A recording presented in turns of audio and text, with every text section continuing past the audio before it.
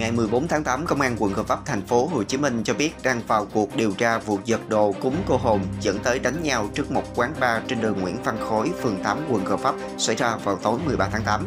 Theo người dân cho biết khi thấy một thanh niên trong quán cầm tiền trên tay thì những người giật đồ cúng cô hồn lao vào giật tiền dẫn tới cự cãi rồi đánh nhau.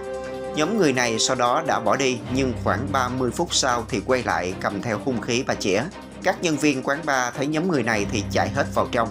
Sau đó công an khu vực đã có mặt tiến hành lấy lời khai các nhân chứng.